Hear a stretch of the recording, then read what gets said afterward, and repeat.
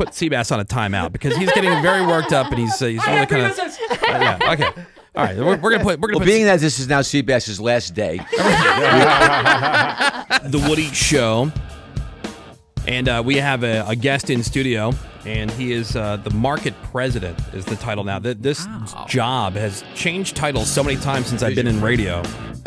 It used to be called a bunch of different things. It was like general manager, yeah. and then it was like VP of whatever, and then it was market president, and now they just keep changing the title. Is that to make it sound fancier? it's, it's actually division president. Oh, division. division. president. What does that mean? I, I, now Because I I- run a division beyond L.A. I work on other things. Okay. All right. So uh, this is Paul Corvino. Hi, Paul. Hi, Paul. Hey, Paul. It's, uh, it's Good Paul. morning, guys. Yeah. Hello, Yeah. Mr. President. So Yeah. Paul, Paul has been like the the main muckety muck here in our building uh, since the beginning of the year. Mm-hmm. So he's relatively new. Hasn't even been here a, a full year yet. And uh, Paul, when he was uh, in working in some of his uh, his other markets, like he would love coming on the uh, on the air with the morning shows. And he's uh, brought up a number of times, like, "Hey, man, if you if you ever have a need or whatever, like hit me up. I'd love to come on." And I All right. said, "All right, cool. We'll let you know." Well, now, Paul, there's finally a reason A need. because like there's been a number of things that have come up. People asking me, and I don't have the answers to some of these questions. And so we're calling this the airing of grievances. Yeah, oh, that's this, oh, this sounds like it's going to be fun. We have no, it's needs. gonna be fun. It's gonna be fun. We have needs in the form of complaints. Yeah. yeah, yeah, yeah. So, uh, Menace, one of the things that I heard, and Paul, you could tell me if this is a true story or not. Yeah.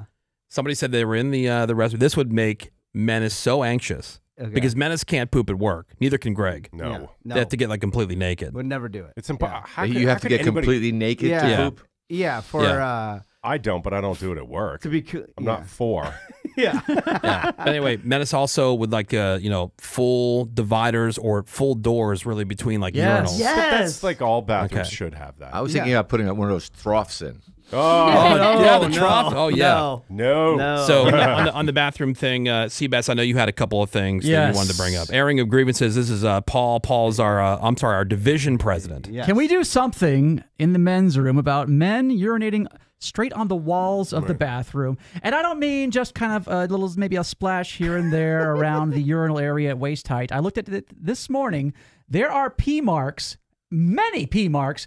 At and above shoulder Oh, that's height. true. That's true. shoulder true. height on the ta- on the tile, on the dividers. Exactly. Number one, how are they getting it up that high? Number two, what blind idiot, no offense to our cleaning crews, can't see the urine splashes on the tile, and then, or if they do see them, think, oh, that's okay, I'll leave that there literally for years. Yeah. Can we do something about the uh, j- dis- Well, f- disgustingness? First of all, I could prove to you that with my 67 year old prostate, I can never reach that wall.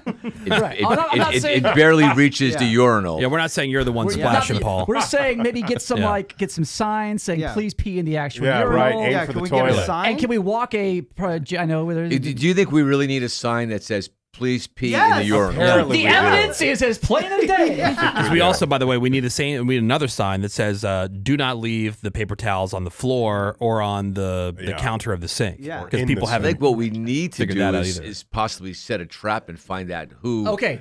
We've who- thought about who that. Okay, the this is- person okay, this is I've got a feeling this is not everyone. This Great. might just be one Great, person. great. Thank you for bringing that up. Here's Because a proposal. we have a proposal, and I would like your permission to do this. I will install tastefully and strategically install some cameras in the bathrooms. None that would show any wieners or butts, but they would show areas like the floor right in front of the trash can, where people apparently think all the towels go, which is what Woody was Right, just right, talking right. about, and that would show strategically and tastefully who is peeing on the wall next to the urinal. Yeah. Again, shoulder height and above. yeah. Right. I would like permission to install these cameras. What do you think? I also need to know who pees on the seat in Yes. in in the stall. Well, that'd be- that, that'd be a- that I that I never understand. That That's a tougher install, but I would like And I'm saying who's possibly they, they think they can make it in that little hole without hitting Yeah. the Paul, that, that's a fantastic uh, an- angle, but that sounds like a politician answer. I know you're Yes. giving. You didn't address my my question. And also, apparently, Uh, not, to, not to I- speak for I, all the ladies, I but don't think I'm going to be able to Ah! agree Oh, man. to putting cameras. We are in 0 the for 1. Again, strategically and tastefully. oh for one.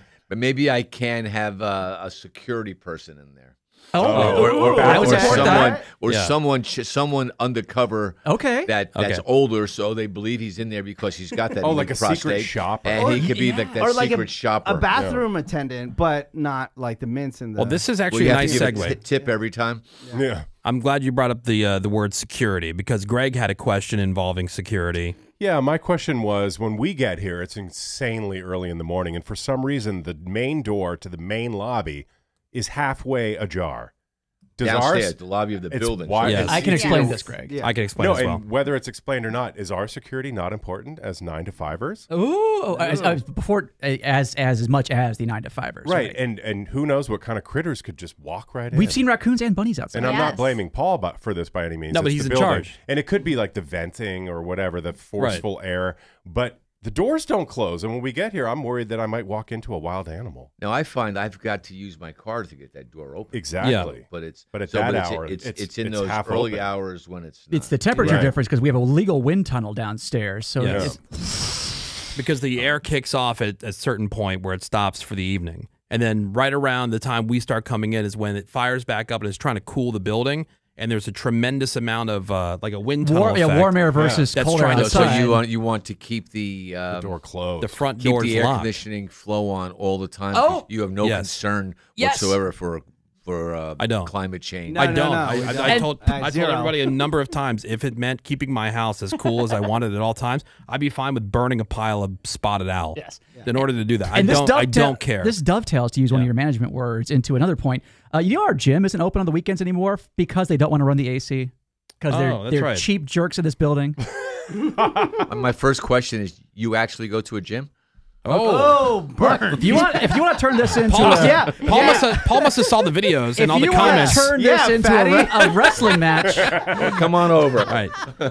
Wow. Yeah. but to Greg's point, the security. Back Yeah. to security. Security. yeah. Is there, Right. honestly, is there anything Yeah, that we yeah, could do about like? Can you talk to the I building could, about I like? could, that, that I can do. Yeah, could talk that's- to the building management Excellent. and make sure right. that door is closed. And honestly, or Greg's find more- out what the reason for having it open is, then work with them on a solution. and Greg is more worried about bugs than he is about anybody attacking him. It's, Just so I you know. Said wild animals, I meant He means tiny lizards. yes. Oh, yeah. Uh, I also thought that, that this was a good idea. This is the airing of grievances. We have Paul, and the reason we're talking to Paul because you are the guy who can uh, affect change. You can do something. Yeah, well, like- that, that I very could powerful. that Yeah. I can do. I Because can, I gotta- I could find out why that door is open. Yeah. and um, and solve it- that. I- And also that's a problem I can solve. All right. True or false? Everybody, every other manager below you, the only answer they're allowed to give is no. Isn't that the way that corporations are set up? Like, like they're no, they're, they're like they're I- like. well, I, I honestly, hope this is I an hope honest that's question. not the case because going back to my original answer, the key is to put the right people in and have them do what they need to do, and that means saying yes when they need to say yes. But do the, have you ever said that to them? Yes, I have, and I've, Yeah. I've, I've said that to Okay. you when we when you when you I know, have but I to come right to change you. or do something. I say you're the person that makes that call. It's your show. Mm. I never I I never overrule or or try to you know I I put you in this position because I trust you Oh, and babe. you're better at making those decisions than. I am for your group. I do the same with my head of sales, with my head of programming, with my head of operations. Okay, because I was that's a I think a, a situation that seems to be set up in a lot of places where it's like everybody's just trained to say no, and because they don't want to go to the person above them to try to get a yes. Well, yeah, I I hope that's not. Well, the let me give you an culture. example. We'll give you a concrete example. Let's say Sebas, let's say the Woody Show, and me in particular. Every year we go to Coachella and tape a, a segment for the show where we ask, you know, privileged uh, trust fund kids how they paid for their Coachella ticket. Let's say to get to, into there and do that segment, we need one Coachella ticket for Sebas. And let's say a manager, a manager, when asked for that ticket, said, "I'm not giving Sebas a ticket to go make fun of people at Coachella." No. What would you say to that manager? I would say his job is to make fun of people at Coachella. Right.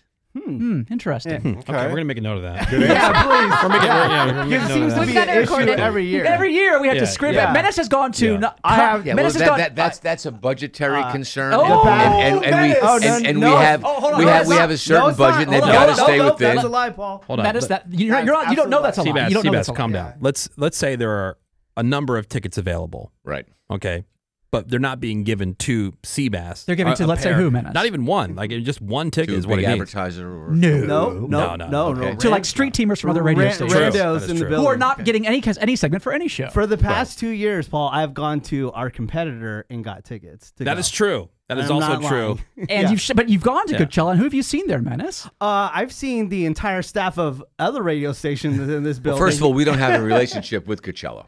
Yeah. We don't. We don't. Ha- we don't have anything. We understand with them. that, Yeah, but but we do Menace- have- we don't but we do get have tickets. tickets. The So what only is tickets we saying, have somehow other are tickets we have to Yeah. purchase. But Menace is saying No, other staffers. So some of the those staffers that I'm talking about somehow have tickets that are un, you're not able to purchase. Because sometimes one of the record labels might give someone like me tickets, Yeah. Ah. and I've got these extra tickets, And you say, and then I have an opportunity to do something nice for one of the street team people, the people that don't earn the kind of money that Don't produce content for the air. people that can't go there that would appreciate it, and so Mm-hmm. I'd like to take care of them at times and and, and make them happy. And when you're on That air, is nice. so- Uh, yeah, and I'm not against that at all. but when you're on air, talent asks asks for one for a specific Yeah. reason, If, if and you, you, say came no, to me and I had those, fine. Yeah. But when those come in, they're like a gift to me from Mm-hmm. someone. You know, I sometimes get gifts from people, from the record companies, from other places, people doing business with us, tickets to. Hey, we know how it was in the or- 80s, or, right? Or whatever. and I and I often give those away. If we could use them with clients first, I always try to do that. But I also like to take care of the people that take care of us. I think I can uh, shorten this up by saying uh, Sebas is just asking, can he have a ticket next year? Right. And, I- and Can you- not- can you make- can you make that happen? told- be if I get if, if if if if a ticket falls upon my desk that we have, as I said, we do not have we we don't we don't have a partnership with. And, Paul, it's, it's not even that I, w- I they didn't have a ticket for me. It's that I know they had tickets and they specifically didn't give one to me because they didn't like the segment that the Woody Show does. And who was this that didn't give it to you? Oh, we'll give you the name. Was it, was it from We'll your give you side? one of the was it from the programming side? Yes. Was it Yes, from- yes, yes. We'll give- so, we'll- yeah, so we'll give it you was one of the The names. someone. person who yeah. doesn't support our So it was Yeah. someone in a position Oh, yes. that, that makes that Yeah. decision Oh, based and- on the content. right. So hates this is uh, the Well, that's also of- their job. I've got them in that position Yeah. because I trust them in that Oh, position to make the right decision. Misplaced trust, Paul. Perhaps a misplaced trust. I'm gonna have to like put Sebas on a timeout because he's getting very worked up and he's uh, he's really kind of yeah okay all right we're, we're gonna put we're gonna Well, put being that this is now Sebas's last day, Uh, no. Uh, so, Paul, this is the grie- uh, airing of grievances. This is Paul, our division president, and we're, we're just trying to get uh, you know some insight. I want to make sure that we are doing our best to try to make sure that you, Paul, are not getting ripped off. Because if you're paying any kind of cleaning people around here, you are being ripped off. There is enough food crumbs and stuff on the floor of this studio to feed a third world country. Uh, the smudges on the front uh, doors of the lobby have been there for months. I don't think anybody the ever downstairs lobby or the no, upstairs? the up right here. Yeah, yeah, yeah, lobby? yeah, yeah, yeah. So I just want to make sure that whatever we're paying, if we are paying for some cleaning people, Let, let me uh, take some notes here. that it is. Uh, Yeah. yeah, I've got the start with- door downstairs that Yeah, yeah. open. open. in the yeah, don't morning. forget Sebas's I've got last day. smudges in the lobby. Last day. Uh, sign in the bathroom. Yeah, yeah. Oh, and pee on the speaking speaking of signs, this Yeah. is a, another one from uh, from Greg because And this is an old problem. we label the uh, conference rooms around here. We give the conference rooms names, but when you walk around the building, nobody knows who any of the other people are because we don't have any kind of signage to let people know. So you're, you're upset that we have a Taylor Swift conference room, but not a Woody conference room. No, no, No, no, no, no, no, no. no. This is like, in other words, you're walking around uh, some of the other office areas, but we don't know who that person is and what they do. Like you walk around You many know something? offices. Right, they- they I, I would, names on I every think desk. That's, I think that's a great idea. Yeah. We changed that when a few years ago, our company, like many other companies, Mm-hmm. have gone to we don't have offices. It's all shared Open workspace. concept, yeah. In the end, what happens is people go to the same desk every day. The salespeople do not have desks assigned to them. Oh, they but they don't? sit in the same desk every day. oh, I didn't Yeah. know that. The managers do not have offices assigned to them. That was the corporate policy. Yet they go to the same same spot Space every day. Yeah. Yeah. Okay. So we really should get. I think that would be really very helpful. Eliminate the ruse. Yeah, I think And that'd be just very say, helpful. This is your this office. is your desk. Yeah. Yeah. Yeah. Yeah. Now- Except then- I've got my office, and- and, and no one can go in there. Yeah. with With nameplates. That's Yeah. the big thing. Nameplates. we don't need name, Name- tags. I would love nameplates. I would like people walking around with name tags. I- I'm Yes. saying hello to people all the time. Yeah. In this room right now, I only know the name of maybe one or two of you. Yeah. I'm just joking. I know everyone in this room. All right, now, uh, Paul, this last thing I want to bring up, and this is really for the benefit of everybody. I'm looking more of your experience as a person who has managed people and has dealt with uh, a lot of the same questions over the years. For the average employee, right? The average employee comes to you, they always say, We're due for a raise, and we're told every single time, doesn't matter what year it is 2024, 2018, doesn't matter. yeah, right. 1996. No matter what it is, is there a, a thing in management school where they teach times are tough, money is tight. We have no money for raises right now. This isn't because I've noticed like if, if if somebody went in there today, you go, well, Yeah. you know this Ooh, this lean. isn't uh, 2021 or not. That's a bad example. Uh, COVID times. Yeah, this this isn't 2019. You know, as if everybody was flush with cash at that point. And it's You not know, just our industry. Yeah. This happens yeah. everywhere. So what's the best way? And this, I- I'm I'm not knocking you. I know you're under a lot of pressure the with best way everybody else. simply is to make gains, financial gains, um, somehow part of accomplishments and keep it a meritocracy. Like So bonus. What you got to you're got to define to- that for your minutes. Hold on, you got to position- define that for You merit. You, got to dumb that Yeah, down. you for got to me. explain that word to menace. Meritocracy? meritocracy Meaning based, what? based based on merit. So Okay. we will instead of giving a raise to salary, I may say, okay, if you guys rank this, this, or this, Mm-hmm. then you get this sort of bonus. I could say um, you'll go out and work with the sales team and get more endorsements. You'll make more money. Yeah. Mm-hmm. Okay. You, you've got, you know, I think it, it's got to always be tied into some sort of, well, we try to at least, And that's- especially on the sales end. And that's on the that's on the radio side of things. I'm saying any, for anybody listening, no matter what they do, what's the best way as a manager? yeah. What's the best way for somebody to come in and pitch for a raise? What's their best chance of getting a, a yes? Their best chance of getting a yes for a raise is coming in, explaining how long they've been here, what they're earning, um, and how they are, are uh, and show their value. It's all about an exchange of value. Show your value to the organization and why they need to be here and and and why we need to keep them and and go through it that way and then we then we put it through then i've got to look at what my budget is where i've got Right. i've got you know, i may get my budget this year i've got to cut 10% it's awfully Mm-hmm. hard to to give a raise Hmm. unless there's some sort of incentive in tied to it and if they come Mm-hmm. to mm. me with an idea saying what if i did this this and this? Would i be able to get this more money or this you know an, an incentive to make more money? And that's always the best way and people have done that. They've come in and said you know i want to take on this extra responsibility. We're paying this mm. much because we're farming it outside. I can do it. And instead of you paying an extra $20000 a year give me $10000 a year and i'll handle that. Hmm. And i'll mm-hmm. look at it and i'll say well if it doesn't affect your other job time away from it and we can do it i will we will do that Okay. and we and we have done that Yeah. Personally, I've always looked at it as am I helping make am I helping bring in more revenue than what I'm making yes currently at the Yep. company? You're you're particularly good at it. You work with the salespeople. You come up with ideas to pitch, Mm-hmm. and as a result of it, you're getting more. You get more endorsements, and Now- you make more money. Have Of all the, of all the people in the building, who's the worst at doing that? Menace is really great at, it, but who's, you can be honest with Yeah, us. yeah. Give us a name, us like a list. Who's- specific name. who's Like who's the absolute worst at it? That's always complaining about money but not helping make more. Right. Who's that person? Yeah. Can, Who you, is can you tell us this? Uh, Tell me. I, I think we can stay, we, we, can- we can stay away from specific names. No, okay. All right.